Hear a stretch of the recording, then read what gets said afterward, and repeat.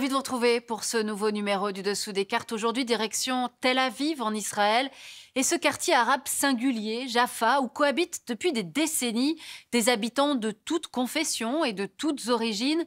Un vivre ensemble étonnant au regard du caractère insoluble du conflit israélo-palestinien et du scénario dit des deux États, toujours prévu, jamais réalisé. Le conflit israélo-palestinien au centre de la géopolitique de la seconde moitié du XXe siècle, puis passé au second plan. Entre-temps, les tensions se sont enquistées, notamment durant les années Trump-Netanyahou, même si des lignes ont bougé entre Israël et une partie du monde arabe. Alors on a voulu revisiter ces territoires si complexes le plus géographiquement et factuellement possible. Sortons nos cartes. Situé à l'extrémité orientale de la Méditerranée, Israël est un État côtier du Proche-Orient. Il est inséré entre le Liban au nord, l'Égypte au sud, et il est bordé sur son flanc est par le fleuve Jourdain et la mer Morte, qui lui servent de frontière avec la Syrie et la Jordanie. Il jouxte également deux territoires palestiniens, la Cisjordanie et la bande de Gaza. Le pays compte 9,3 millions d'habitants pour un territoire officiel d'un peu plus de 20 000 km, deux fois moins que la Suisse.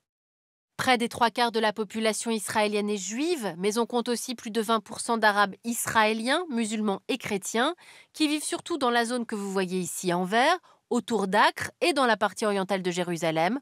On compte également des minorités druzes et tcherkesses.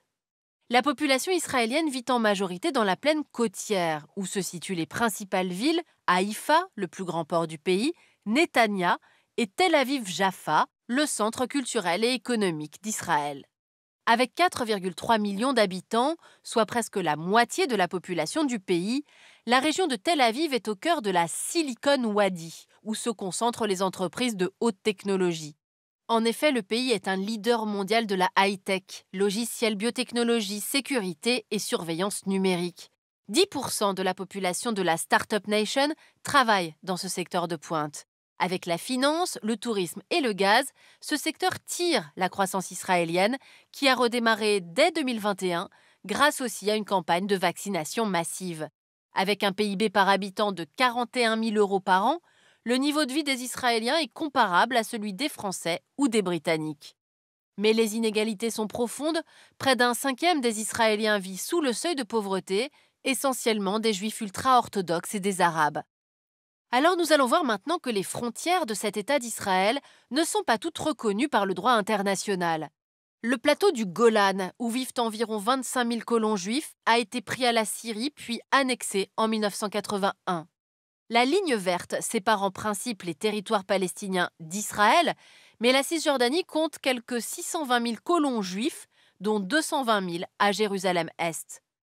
Enfin, Jérusalem, qui est traversée par la ligne verte, est considérée par les Israéliens comme leur capitale, mais n'est pas reconnue comme telle par l'ONU. Alors pour comprendre cette situation, il faut remonter dans le temps. C'est en Europe, à la fin du XIXe siècle, que naît le projet de fonder un État juif, en réponse aux pogroms dont les juifs sont victimes en Europe orientale et centrale, et à l'antisémitisme qui gangrène aussi la France avec notamment l'affaire Dreyfus.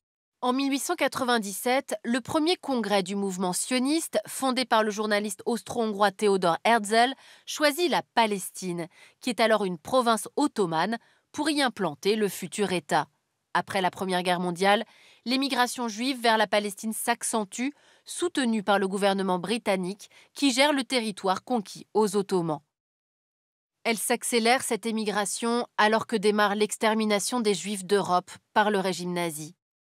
1947, après l'arrivée des rescapés de la Shoah, la population juive venue d'Europe va représenter un tiers de la population palestinienne. C'est alors que l'ONU nouvellement créée vote un plan de partage du territoire palestinien. Il prévoit la création de deux États indépendants, un arabe et un juif, ainsi qu'une zone sous régime international autour de Jérusalem.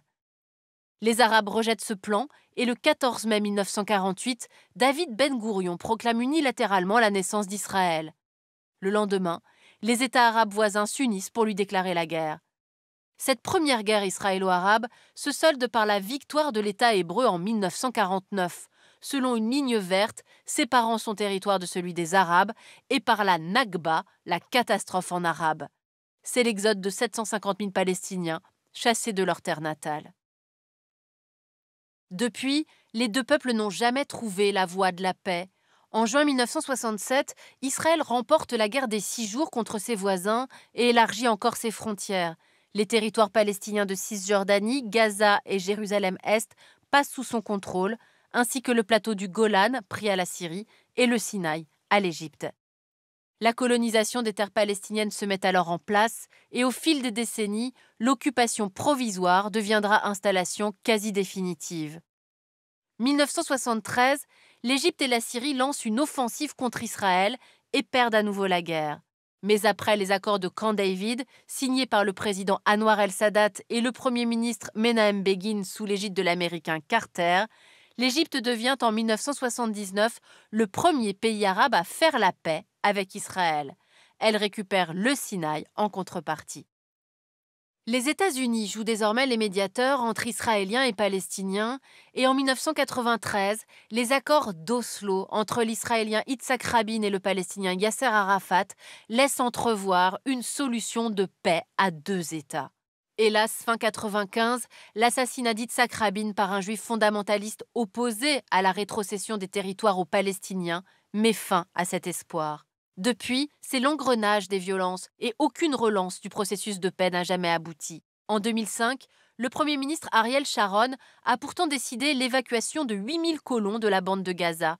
Mais en 2007, la scission du mouvement palestinien en deux camps opposés va encore compliquer la situation. Les islamistes du Hamas contrôlent désormais la bande de Gaza, tandis que le Fatah laïque de Mahmoud Abbas garde le pouvoir en Cisjordanie. Depuis les gouvernements de droite qui se sont succédés au pouvoir, en particulier ceux de Benjamin Netanyahou de 2009 à 2021, ont favorisé la colonisation au mépris des résolutions de l'ONU.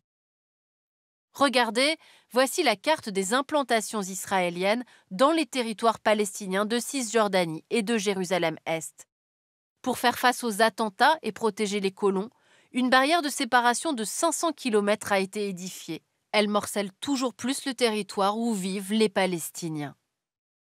Cette barrière de sécurité n'a empêché ni les attentats terroristes palestiniens, ni les violences de la police et de l'armée israélienne.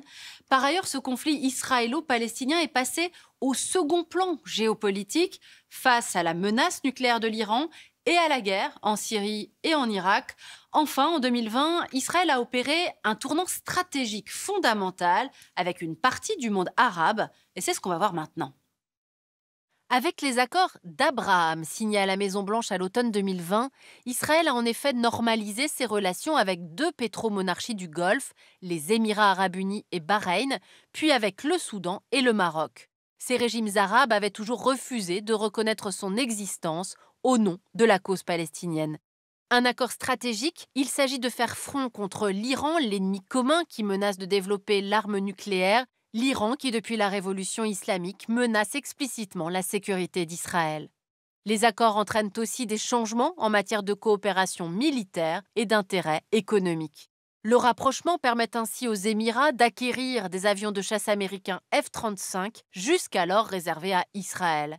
Abu Dhabi fournit désormais du pétrole aux Israéliens et a accès au dernier cri des technologies de sécurité israéliennes.